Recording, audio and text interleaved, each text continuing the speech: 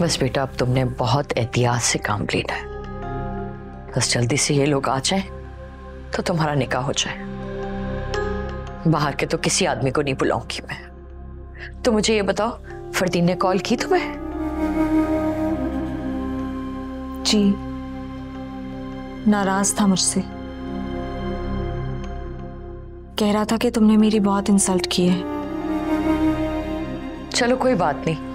शादी के बाद मना लेना उसे।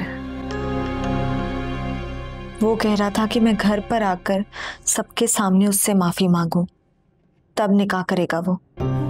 मज़ाक कर रहा होगा बेटा। वो सीरियस था अम्मी।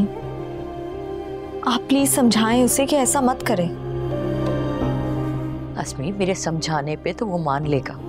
लेकिन उसकी ईगो हर्ट हुई है। अगर तुम उसके कहने पे आज माफ़ी मांग लोगी तो सारी ज़िंदगी ना वो तुम्हारी गुलामी करेगा। मुझे गुलामी नहीं करवानी उससे। मुझे अपनी इज़्ज़त करवानी है। और वो है कि मेरी बेइज्जती पे तुला है इसमें बेइज्जती वाली क्या बात है बेटा? पहले भी तो तुमने उसको सॉरी कहा है ना?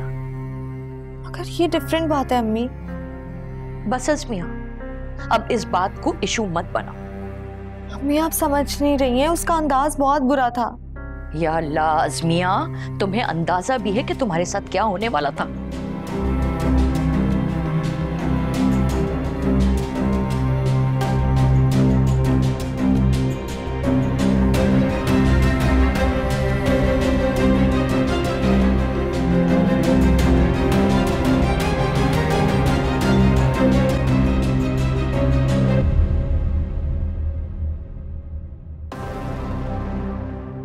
मुझे लगता है गलती हो गई। हमें निकाह खां को यहीं बुला लेना चाहिए था।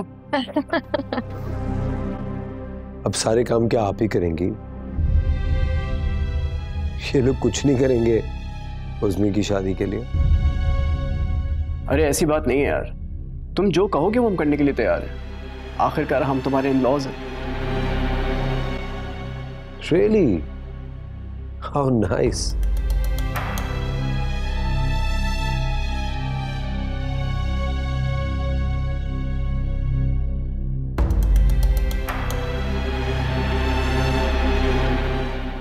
फरदीन, बेटा, मैं जानती हूँ अजमिया ने तुम्हारा बड़ा दिल दुखाया है। इसे ऐसा करना नहीं चाहिए था। इसकी तरफ़ से मैं तुमसे माफ़ी मांगती हूँ, बेटा। नहीं, आपको माफ़ी मांगने की कोई ज़रूरत नहीं है। सारी गलती इसकी थी। इसको एहसास होना चाहिए था ना, ये क्या कर रही है?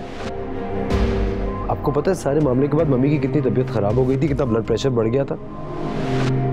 किस तरह सब लोगों ने बर्दाश्त किया, ये हम ही जानते हैं।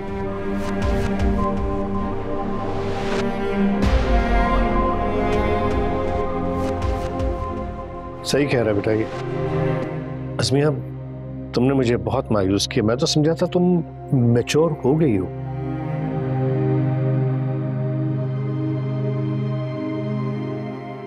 बस खत्म करें ना बात को।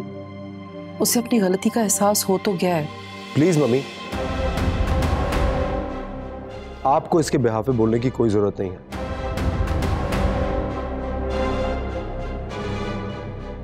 तुमने मेरी सबके सामने बेजती की थी ना।